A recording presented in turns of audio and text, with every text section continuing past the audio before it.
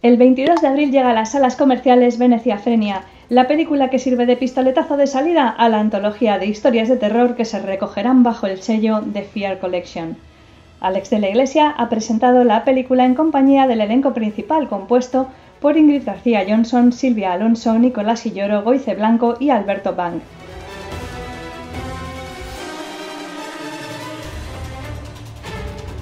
A ver, la idea es tener una excusa para, hacer terror todo el rato. Y, bueno, pues hemos generado un, acuerdo, un, proyecto de películas eh, con Amazon y con Sony, que consiste pues, bueno, en, apostar por el, por el terror de género puro. Y que luego no lo será, pero, pero lo, intentamos. Se llama Fear Collection. Eh, la primera es Venecia Frenia y la segunda es Venus de de Jauma, basado en un relato de H.P. Lovecraft.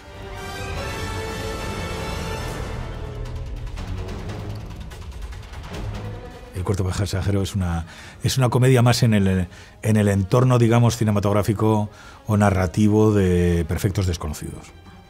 Es otra película de Telecinco, es un poco, no te diré que es una secuela, pero también podría formar parte de una colección de pelis.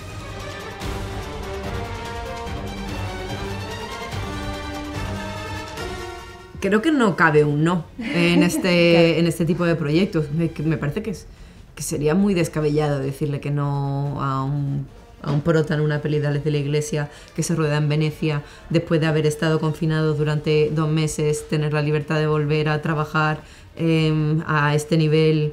Mm, no, no, no, no, no, hay mucho, no hay mucho lugar a duda. Luego ya cuando estás ahí rodando que te replanteas porque has dicho que sí, pero, pero en el momento es un, es un sí de cabeza. Y en mi caso igual, tenía muchísimas ganas de trabajar con Alex, de hecho había hecho pruebas para otros proyectos que no habían salido. Y yo gestiono bastante bien el no, pero tengo que decir que estos noes me habían dolido en las tripas. Entonces cuando me llegó este guion dije, wow, ahora sí.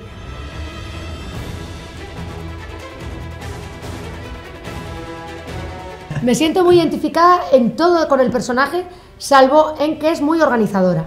De yo voy a llamar al hotel y yo voy a hacer eso, eso es lo único que yo no tengo de arancha. Todo lo demás soy yo de arriba abajo. Todo. Eh, lo de deportista de élite. Deportista de élite. Las sí, sí. Hombre, pues espérate un poco, sí, ¿eh? ¿Te pusiste, te pusiste? Claro, hice, yo entrené, entrené, hice dieta para la, para la película. No, no, no, yo, yo soy activo, yo soy activo en redes y me gustan las redes. Pero es verdad que, que soy un poco torpón a veces. soy un poco naif en ese sentido que le cuesta un poquito adaptarse a José, pero bueno. Ah, yo me lo pasaba muy bien porque es un personaje que te, deja decir todas las borderías que te apetecen. Que eso, eso es como que normalmente yo no, no soy tan borde, pero, pero me gustaba bastante, me lo pasaba muy bien.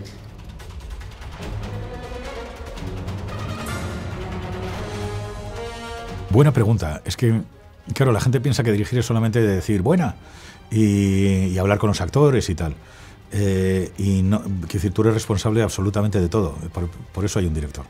O sea, hay alguien que se tiene que responsabilizar, responsabilizar de todo lo que pasa. Eh, y tú, claro, tú no lo sabes antemano. Dices, ¿cómo conseguiré yo convencer a la gente de que haga lo que yo quiero? Es que nadie quiere hacer nada. O sea, ellos quieren llegar allí y mm, ayudarte en lo que tú digas y en lo que no digas, pues no ayudarte. Entonces tienes que decirlo todo, tienes que marcarlo todo y tienes que eh, responsabilizarte de 30.000 preguntas que te hacen al día. Eh, eh, claro, ese es lo complicado, es saber cuál es la importante, ¿no? O sea, lo complicado es, de pronto decir, vale, vámonos. Y te dicen, no se puede, hasta dentro de dos horas. ¿Por qué? Porque tenemos que meterlo todo en los botes. ¿Qué botes? Y te dicen, mira, el bote de maquillaje, el bote de vestuario, cada bote mide 6 metros. ¿eh? Em, el bote de, de, atrezo, el bote de cámara, el bote de producción, el bote de dirección, el bote... Y obviamente dices, somos 15 botes, claro, como 15 camiones tenemos algunas veces en, el, en los rodajes. Y entonces dices, y ahora estos se tienen que venir y meterse por entre los canalitos y llegar a donde vamos a rodar, eso es imposible. Me dicen, bueno, tal, eh, empezamos a, a, verlo y claro, tardábamos efectivamente pues como muchísimo en, ponernos en, marcha, ¿no? Solamente transportando las cosas. Entonces ya decidimos hacerlo a mano. Entonces, eh, claro, lo teníamos que hacer atravesando los puentes, no teníamos ni siquiera carros, necesitaríamos un carro que, subiera escaleras y no lo teníamos. Eh, Entonces empezamos a reducir, eh, eh, digamos, material, lo cual arriesgábamos muchísimo a la hora de... O sea, teníamos que marcar muchísimo plano. Teníamos que saber cómo exactamente cómo íbamos a hacer cada cosa para... Y luego estábamos rodando con dos cámaras. eh, porque si no tampoco, tampoco da literalmente tiempo para, para acabar la producción. Es muy difícil mover todo el material de una película por, por canales y con sin camiones. Al final los barcos tampoco son tan grandes, no dan, no dan para no dan para tanto material. Rodar con ellos también era muy complicado porque por supuesto el agua no es como una carretera, por lo tanto mm, la trayectoria que van a seguir no es la que tú a priori te imaginas, van por donde buenamente pueden y frenan y aparcan, atracan, perdón, donde pueden, no donde está puesta la cámara. Entonces en ese sentido había que hacer muchas tomas y tomárselo con calma. También, claro, es una peli de acción, tú esperas que el taxi, el water taxi, arranque y empiece, de- vaya de 0 a 100 lanzado, pero no, de nuevo es un barco y había muchas veces que era como de, esto no puede ir más deprisa, de verdad. Digo, "Pues, eh, se está muriendo gente.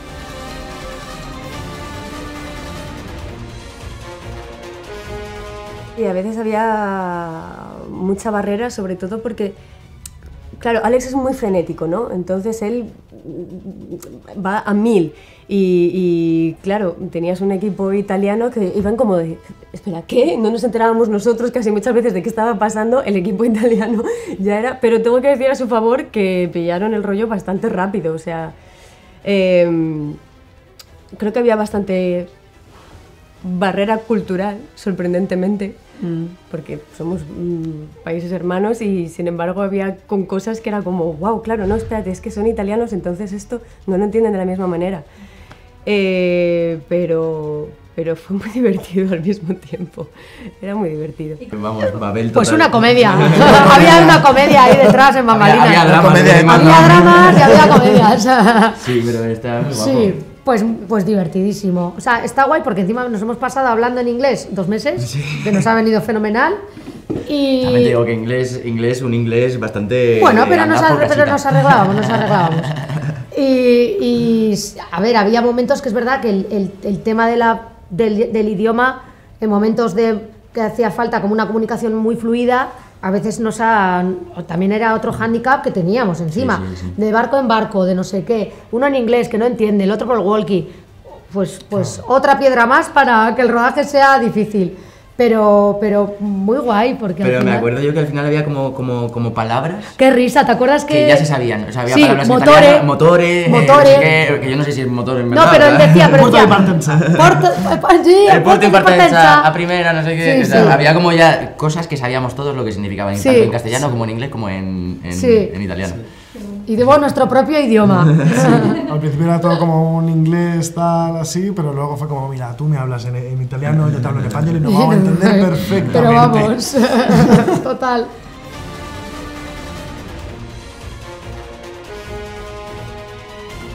Eh, de eso, de, de haber salido vivo, de conseguir, conseguir ponerlo todo en marcha, ¿sabes? De no perder los nervios. Bueno, los perdía. Eh, qué falso soy. No, me ponía histérico. Recuerdo que hubo, un momento, esto no os lo debería contar, pero hubo un momento en el que estábamos rodando con, con lanchas, ¿no? Con enormes lanchas y tal. Estaba la de la policía, iba la de la policía, la de los actores, la nuestra y otras dos. Y yo digo, ¿y esas otras dos? Hombre, la de los focos. Ah, claro. Y entonces iban brrr, todas las, todas las lanchas en... Solamente ponernos de acuerdo para ir en la misma dirección era imposible. O sea, con, un megáfono no me oían, había una niebla increíble y los, barcos desaparecían. Y tú decías, ¿dónde están? Y, entonces volvían. Entonces ya, yo cuando ya veía que estábamos todos juntos sin más, ya decía acción. Y, y a partir de ahí intentaba coordinar a cada uno, intentando que el de las luces no entrara en cuadro, eh, que, que los actores estuvieran en cuadro, esa era mi máxima aspiración, que los actores estuvieran en cuadro y eh, que, no, que no fueran adelantados, eh, o sea, que no fueran adelanta- adelantados los malos por los buenos, porque entonces no tenía sentido la persecución.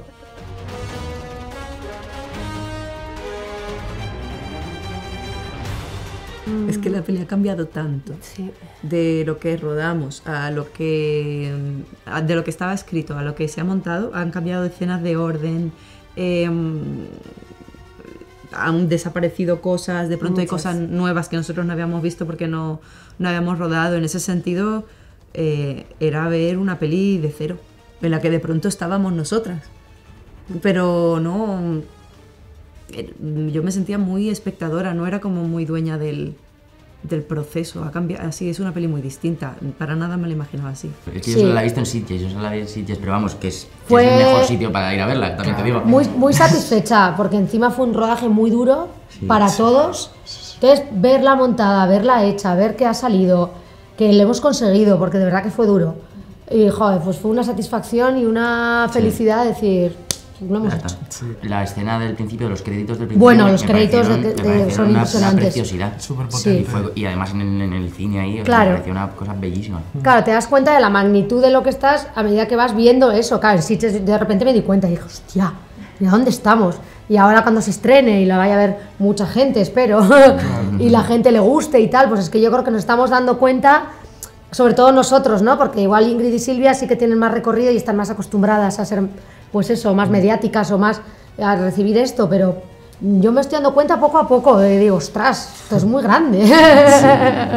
Sí, sobre todo que la gente se, se, se asombre como nos asombramos nosotros la primera vez que vimos la Mm. película, que yo creo que eso es lo que les va a causar, ¿no? Ese impacto que dirán, eh, vamos, vamos, vamos, vamos.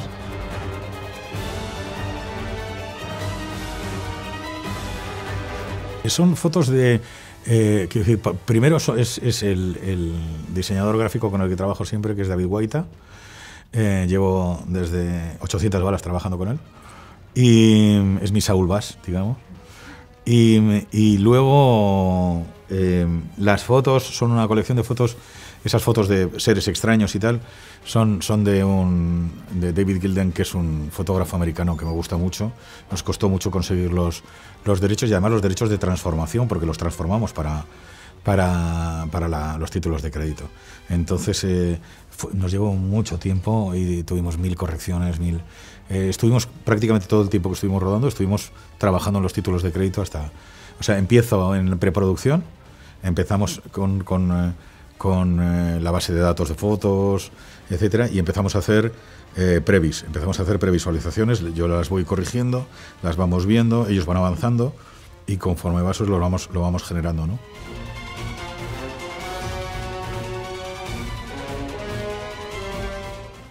varias cosas, varias Todo. cosas, porque tú lo momento- lees sí. y dices, Pero madre el momento mía. macabro de, de- del.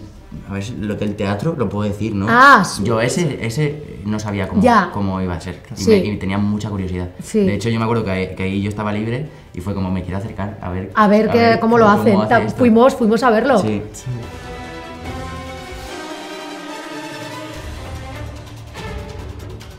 Mira, ese es Necro. Necro, o sea, hay un artista que conocí en Twitter, además. Necro que me gustaba muchísimo, que hace, eh, digamos que hace unos 3Ds y tal sobre eh, personajes siniestros y tal, así muy góticos. Es, eh, tiene una estética muy marcada de blanco y negro y tal, con piezas que son siempre de cuero, de piedra, eh, son con cascos, em, mujeres ataviadas con una armaduras, tal. Entonces le dije, ¿por qué no haces los, ¿por qué no, haces, por qué no diseñas el Doctor de la Peste? Entonces lo diseñó entero él. Diseñó la máscara tal y nos hizo el póster del teaser del- de la película. Y, y luego diseñó las, las máscaras del, del, carnaval, del carnaval que están en la fiesta. Los cuernos, eh, las, las chicas con cuernos, los tíos con cuernos. Eso lo hizo también él. Y entonces eso se lo di a Pedrati, a, al- a mi técnico de prostéticos, digamos, eh, que hizo, que hizo las, le- los hizo físicamente. Y eso era una cosa que me obsesionaba mucho porque digo yo, en el paso al físico siempre esto no va a quedar como en, el dibujo. Y eh, trabajamos mucho, llegamos con, con la máscara, la máscara estuvo terminada el día de rodaje. Sí, sí, por- o sea, lo terminó dos días antes, traslado, llegamos, la cogí, la pusimos. No, no había otra, no había otra opción.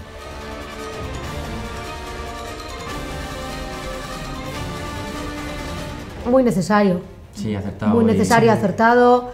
eh, necesario hoy en día, sobre todo, porque es que es algo es que mm, súper actual, súper necesario.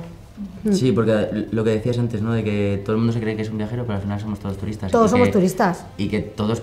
Es verdad que igual no eres consciente, ¿no? Porque tú no... Es verdad que tú no... No, tú no, tú con Tú eres respeto. más, respe- más respetuoso, tú tienes más cuidado tal, pero al final eh, formas parte de un conjunto Sí, de de- gente que va a sitios y a consumir los sitios, además. Sí, Es además- consumo de sitios, de lugares. Total, es que es la palabra, es consumo, ni siquiera ya vamos a disfrutar, porque encima vamos a hacerle fotos a todo, a hacernos el selfie en la fontana, a hacernos no sé qué. O sea, es todo como, como un. Pues un poco el mundo en el que vivimos ahora, que es todo, dámelo todo ya y dámelo tal, y usar y tirar, y corriendo.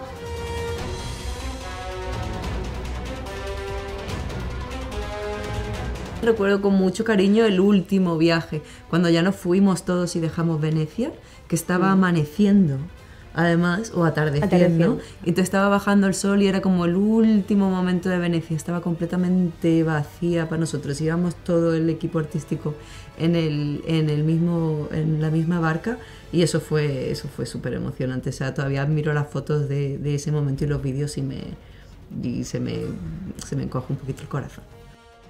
Ya sabéis, elegid vuestra mejor máscara, la más elegante, para perderos en el Carnaval de Venecia de la mano de Alex de la Iglesia. Venecia Frenia estará en los mejores cines a partir del 22 de abril.